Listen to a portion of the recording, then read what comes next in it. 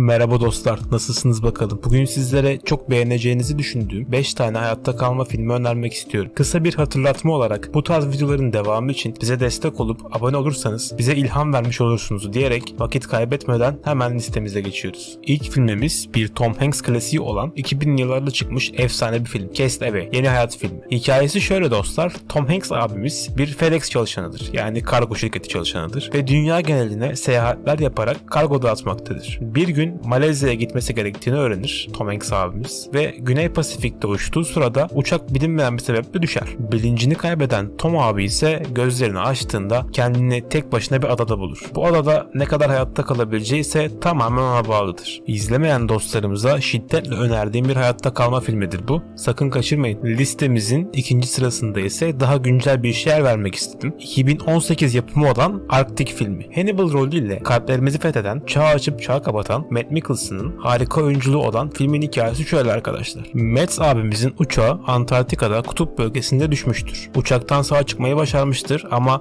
hayatta kalmak için kendiyle bir mücadeleye girer ve uçağı bir sığınak olarak kullanıp orada yaşamını sürdürür. Sürekli balık yiyerek hayatta kalmaya çalışır. Zaten filmde ateş de olmadığı için balığı çiğ çiğ gömdüğünü görüyoruz yani Matt Mikkelsen'ın. Filmde görseller harika. Yani o ortam zaten müthiş. Hani tek başına bir oyunculuk var. Ben sıkılırım bu filmden diye düşünmeyin. Zaten filmin devamında bir araştırma ekibinin helikopterine denk geliyor Met abimiz ve kurtuldum sanıyor. Fakat işler tam o noktadan sonra bambaşka bir hal alıyor. İzlediğinizi asla pişman etmeyecek bir film. Kaçırmayın arkadaşlar. Listemizin 3. sırasında ise Japonya'da bulunan meşhur intihar ormanı ile ilgili bir film. The Sea of Trees, Sonsuzluk Ormanı. Filmin açılış sahnesinde Arthur karakterinin yaşadığı etkileyici bir olay sonrasında Japonya'daki Fuji Dağı'nın derinliklerinde gizemli bir ormana doğru yola çıkmasına tanık oluyoruz.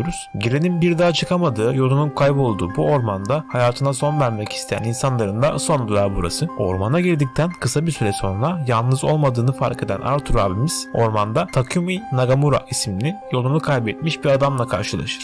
Ve bu iki adamın yaşama isteği daha ağır basacak, ölümden vazgeçip oradan kurtulmaya çalışacaklardır. Enteresan bir konusu var filmin hakikaten. Başrollerde ise Matthew McConaughey, Naomi Watts gibi isimler yer almakta. Ortalama bir film diyebilirim yapım için. Diğer ikisi kadar övemeyeceğim. Fakat kötü değil. İzleyebilirsiniz arkadaşlar. Dördüncü sırada ise hem gerilim hem de biraz şöyle hayatta kalma filmi olsun diye arkadaşlara geliyor. Filmin Türkçesi Derin Kabus. Bu yapım meşhur Fransa'daki yeraltı mezarlarının hikayesini anlatmakta bizlere. Bir grup gezgin arkadaş bu mezarların gizli odalarının olduğunu keşfedip girilmemesi gereken yerlere doğru giriyorlar. Bu filmle ilgili söyleyebileceğim bir şey dostlar. Filmin görsel efektleri biraz daha iyi olsaydı emin olun çok daha güzel puanlar verebilirdim bu filmle ilgili. Klostrofobisi olan dostlara pek önermiyorum. Yer yer dar mekan sahneleri var. Nefesiniz kesilebilir. Benden söylemesi. Ve geldik listemizin son filmine. 2010 yapımı olan Breed filmi. Türkçe Toprak Altında diye çevrilmiş bu film. Deadpool'dan tanıyacağımız Ryan Reynolds'ın başrolde olduğu bu yapımda hikayemiz Irak'ta geçmekte arkadaşlar. Ryan abimiz filmde kamyon şoförlüğü yaparak geçimini sağlayan bir Amerikalıdır. Bir grup direnişçi bizim Ryan abimizi kaçırır. Gözünü açtığında ise bir tabutun içinde olduğunu fark eder.